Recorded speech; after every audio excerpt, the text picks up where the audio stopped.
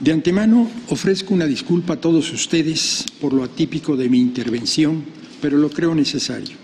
Considero, sin embargo, de la mayor relevancia hacer del conocimiento público ciertos detalles sobre la contradicción de criterios 231 del 2024 que me fue turnado el pasado 23 de agosto.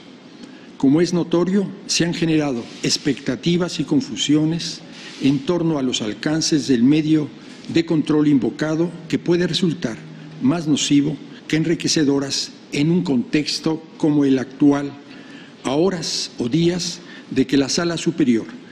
del Poder Judicial de la Federación resuelva en forma definitiva e inatacable las últimas impugnaciones sobre las elecciones federales de diputados y senadores del proceso electoral en curso.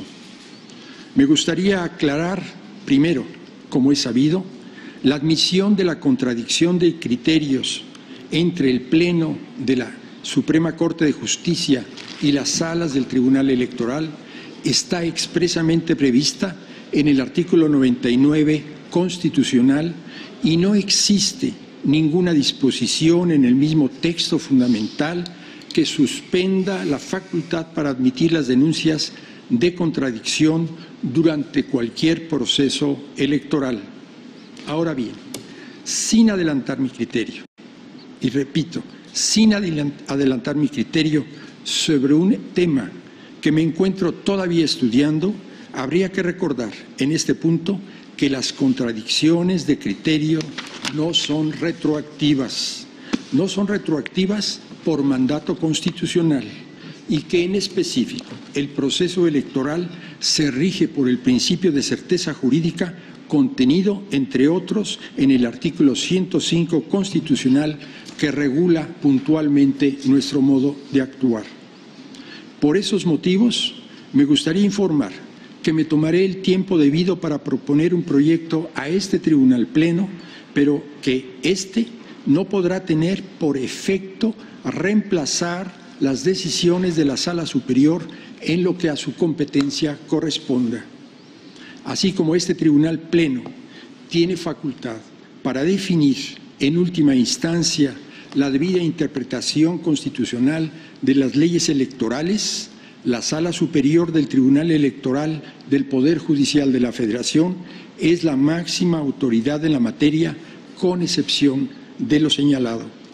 Y sobre todo, la Sala Superior es el órgano especializado competente para conocer, en última instancia, sobre la debida asignación de, de diputaciones o senadurías por el principio de representación proporcional hecha por el Consejo General del INE, asumiendo así su responsabilidad histórica.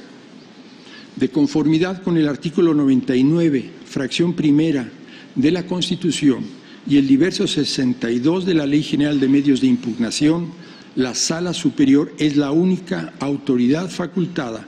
para revisar la asignación de diputaciones o senadurías por el principio de representación proporcional. Por lo tanto, no puede caber ni la menor duda, no puede caber ni la menor duda de que yo soy y seré el primero en observar y respetar esta previsión competencial específica. Cada órgano del Estado mexicano debe y tiene que asumir en este sentido la responsabilidad que la Constitución le confiere.